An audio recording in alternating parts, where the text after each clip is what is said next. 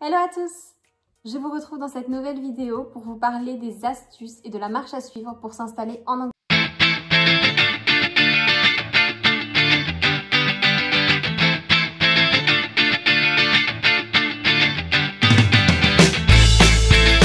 Comme je vous l'ai dit dans la première vidéo, j'ai vécu trois ans en Angleterre. Je suis partie m'y installer en 2017. Je suis rentrée cette année, juste avant le lockdown, donc juste avant la crise du coronavirus. Et donc, je vais vous expliquer quelles étaient les démarches à suivre pour s'y installer, donc comment j'ai commencé et mes astuces à moi. Alors, pour commencer, avant de venir en Angleterre, j'avais commencé par chercher du travail à distance. C'est-à-dire que je n'étais pas encore dans le pays et j'avais commencé à regarder un petit peu les offres d'emploi qui étaient proposées en Angleterre. Bien sûr, ce que je vous conseille pour commencer, c'est de vous centrer sur une ville. Alors moi, je m'étais centrée sur Portsmouth, donc c'est au sud de l'Angleterre. Je vous mets la petite carte juste ici énormément de gens qui souhaitent venir s'installer en Angleterre souhaitent s'installer à Londres, donc ils cherchent directement du travail sur Londres et ils se ferment totalement aux autres villes. Alors moi, ce que je vous conseille déjà, c'est de vous ouvrir aux autres villes de l'Angleterre. Je comprends que Londres puisse vous faire rêver, c'est vrai que c'est la capitale et c'est la ville où, tout le monde aimerait un jour essayer, pourquoi pas, de travailler et d'y vivre, mais c'est pas forcément le mieux pour vivre, vraiment, ça, ce n'est que mon avis personnel. Mais voilà, c'est vraiment intéressant de voir aussi les autres villes de l'Angleterre et surtout ça peut être plus facile pour vous installer. Donc moi je me suis centrée sur Portsmouth parce que c'est au sud de l'Angleterre. Déjà j'avais un petit peu voyagé en Angleterre avant et je sais que j'ai toujours été plus attirée par le sud. C'est vrai qu'au nord de l'Angleterre il fait un peu plus froid, c'est très souvent gris, maussade au niveau des températures. Les gens ont des accents beaucoup plus marqués aussi donc c'est pas forcément facile à comprendre. Euh, et surtout, je trouve que la vie y est moins cool. Voilà, c'est vrai que les gens sont peut-être plus stressés. Euh, voilà, je sens qu'il y a une, euh, un aspect différent vraiment au nord qu'on retrouve pas forcément au sud. Portsmouth, donc c'est la ville où j'ai habité pendant trois ans en Angleterre. Et vraiment, je m'y suis plutôt plu. Alors j'ai choisi cette ville parce que, comme je vous l'ai dit, c'est au sud. Et aussi pour la proximité avec la France. C'est vrai que j'avais déjà vécu un an en Grèce et je voyais très peu ma famille. Donc pour cette nouvelle page de ma vie, quand j'ai déménagé en Angleterre, j'ai voulu rester très près d'eux, tout en étant à l'étranger. Donc en étant à Portsmouth, j'avais vraiment cette proximité avec ma famille, car je pouvais prendre les ferries pour rentrer chez moi. Encore une fois, comme beaucoup de villes en Angleterre, Portsmouth est une ville multiculturelle. Il y a beaucoup d'étudiants aussi, parce que vous avez l'université de Portsmouth qui compte vraiment beaucoup, beaucoup d'étudiants. Et c'est une ville qui bouge beaucoup. Donc ce qui est sympa, c'est que vous avez la mer tout près, vous avez euh, également un outlet pour le shopping avec des grandes marques. Vous avez quand même plusieurs entreprises qui euh, recrutent des étrangers. Euh, donc vraiment, Portsmouth a pu me laisser ma chance en Angleterre et ça a été vraiment une super ville pour y vivre pendant trois ans. J'ai trouvé quand même que pendant ces trois ans, je n'ai pas eu tant de mauvais temps que ça. C'est vrai qu'en Angleterre, il fait toujours mauvais, c'est pas un mythe, il pleut tout le temps. Mais je trouve qu'à Portsmouth, quand même, il n'a pas fait forcément toujours mauvais. Il y a eu des, belles journées en été où on pouvait se mettre facilement en tenue d'été et aller à la plage. Et c'est vraiment cet aspect que j'adore au sud de l'Angleterre, c'est que vous avez les plages comme si vous étiez ailleurs vraiment. Et ce qui est bien avec les villes au sud, c'est que vous êtes vraiment tout près de Londres. Par exemple, à Portsmouth, j'étais à maximum 1h30 du centre de Londres en voiture ou en train. Donc vraiment, euh, c'est pratique parce que vous pouvez y aller vous promener à Londres le week-end ou quand vous ne travaillez pas sur vos jours de repos. Vous pouvez y aller quand vous voulez, c'est à côté. Donc vous pouvez aller faire du shopping, vous pouvez, aller voir des amis, vous pouvez juste aller vous promener et c'est bien plus agréable que d'y vivre à l'année, vraiment. Euh, voilà, vivre sur une ville côtière, je pense que c'est le must pour vivre en Angleterre, selon moi. Après vous avoir parlé de mon expérience en Angleterre, même si j'ai encore beaucoup de choses à vous dire, je vais passer aux conseils et surtout à la marche à suivre pour vivre en Angleterre, donc pour vous installer. Pour commencer, donc, comme je vous l'ai dit, j'avais cherché du travail en ciblant une ville en particulier euh, et donc j'avais cherché du travail à distance. Donc c'est vrai que j'ai plutôt trouvé facilement du travail, j'étais plutôt contente parce que j'étais passée par le biais d'une agence de recrutement multilinguistique.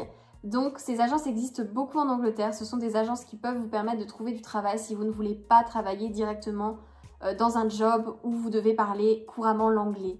C'est-à-dire que ces agences recrutent des gens qui parlent plusieurs langues, donc des Français, des Espagnols, des Russes, des Allemands. Si vous parlez une langue différente de l'anglais couramment, donc au niveau natif, vous pouvez trouver un job en Angleterre grâce à ces agences. Une fois que j'ai eu mon job et que j'étais prise, officiellement embauchée, je suis partie donc m'installer en Angleterre. Donc bien sûr, vous ne pouvez pas vous installer dès le début. Vous n'allez pas avoir un appartement et vous installer dès que vous arrivez là-bas. C'est pas possible, vraiment, je vous le dis. Euh, il faut passer par plusieurs petites étapes avant, donc on va parler de ces étapes. Pour commencer, lorsque vous arrivez en Angleterre, la première chose à faire, que vous ayez un travail ou non, c'est de vous inscrire pour obtenir un National Insurance Number, un NIN. Donc ce NIN, c'est votre numéro d'assurance. En gros, c'est un peu un numéro d'identification lorsque vous vivez en Angleterre et vous en avez absolument besoin pour presque toutes les étapes qui vont suivre. Pour obtenir ce numéro, vous devez simplement vous rendre au Job Center. Donc c'est une office, un peu comme Pôle emploi ou quelque chose comme ça en France. Donc ils prennent vos informations, votre passeport. Ils vont prendre également vos anciennes adresses, donc peu importe où vous ayez habité, donc vos adresses en France ou dans un autre pays et toutes vos informations personnelles. Une fois que vous êtes inscrit, donc deux semaines après environ, vous recevez un papier chez vous qui vous donne donc ce fameux numéro. Donc il est indiqué sur le papier, donc sur votre papier avec vos informations personnelles et il faudra bien conserver ce papier dans vos documents parce que c'est vraiment le papier qui permet de justifier que voilà, vous vivez en Angleterre et que vous êtes identifié. Ensuite, donc, lorsque j'étais en Angleterre, je vous ai dit que je n'avais pas d'appartement tout de suite. C'est vrai que la démarche a été assez longue pour pouvoir se loger. Donc, c'est désormais le moment dans cette vidéo où je vais vous parler du logement. Pour avoir un appartement en Angleterre, il vous faut plusieurs documents. C'est vrai que les agences ou les propriétaires vont vous demander beaucoup d'informations que vous n'aurez pas forcément tout de suite. Donc le mieux, c'est de, au début, vous loger dans un hôtel ou de prendre une chambre d'hôte ou même de prendre une chambre chez l'habitant. Pour avoir un appartement, ils vous demanderont donc le fameux NIN, également votre contrat de travail et un compte bancaire. Le truc, c'est que si jamais vous n'avez pas encore de travail ou que vous souhaitez vous installer en couple et que votre copain n'a pas encore de travail, vous allez devoir donner plusieurs loyers d'avance pour être sûr que vous pouvez le payer. Donc ce qui s'est passé dans mon cas, c'est que moi j'avais mon travail mais que mon copain n'avait pas encore d'emploi. Donc ce qu'on a dû faire, c'est qu'on a dû donner 6 mois de loyer à l'avance, mais seulement la part de mon copain. Donc je sais pas si c'est clair. Donc vraiment un conseil, lorsque vous partez vous installer en Angleterre, peu importe la ville, il vous faut quand même un petit pécule de côté. Vraiment, partez avec un petit peu d'économie. Je peux pas vous donner de budget exact parce que voilà, ça peut dépendre d'une personne à une autre, mais vraiment, il faut avoir un petit peu d'argent de côté, sachant que si vous devez payer un loyer à l'avance, deux, trois ou même six, vous serez, vous devez être capable de le faire. Donc c'est vrai que les loyers sont assez chers en Angleterre, je ne vous le mens pas. Bien sûr, c'est moins cher dans les autres villes qu'à Londres, c'est ce que j'apprécie. C'est vrai que nous, on payait donc 795 euros, plus si on cumule vraiment l'eau, l'électricité, les autres taxes, sachant que vous avez une taxe d'habitation à payer à la ville tous les mois. Donc nous, c'était environ 100 livres. Sachez que voilà, ça faisait environ 1000 euros de loyer par mois. C'est quand même pas donné. Maintenant, je vais vous parler donc d'ouvrir un compte bancaire. Alors vraiment, ouvrir un compte bancaire en Angleterre, je trouve ça plutôt simple. Ça s'est plutôt fait facilement pour mon cas. Ils m'ont simplement demandé mon NIN, mon adresse et mon contrat de travail. Donc voilà, pour prouver quand même que vous travaillez. Ils ont aussi des applications qui sont très simples en Angleterre. Les applications de banque sont super. Les applications sont hyper simplifiées.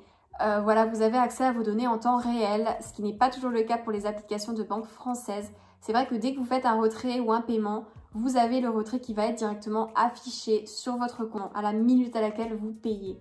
Donc ça, c'est super parce que vous pouvez avoir un super suivi au niveau de vos comptes et vraiment, ça permet d'être toujours à jour. Et enfin, une dernière chose, pensez à vous inscrire pour avoir un médecin traitant en Angleterre. C'est très important, c'est pas toujours la chose auquel on pense, mais c'est également important la santé. Donc vous devez simplement vous inscrire au centre ou au médecin le plus proche de chez vous vous regardez sur le site NHS, vous pouvez mettre votre code postal et ensuite donc vous allez avoir tous les médecins présents dans la zone près de chez vous. Vous sélectionnez un médecin et vous vous inscrivez. Donc ensuite vous recevez une lettre chez vous avec un numéro.